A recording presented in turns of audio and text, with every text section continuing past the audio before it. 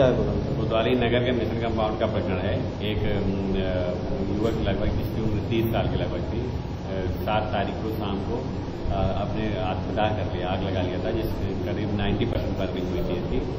उससे जब इसमें बात की गई तो उसने बताया कि पारिवारिक कारणों की वजह से उसने ये आग लगाई है और गंभीर था इसलिए उसके यहाँ से सफे के लिए रेफर कर दिया गया था, जो वहाँ जाके इलाजरत है। इस संदर्भ में जो भी तथ्य आएँगे उसका आधार कार्रवाई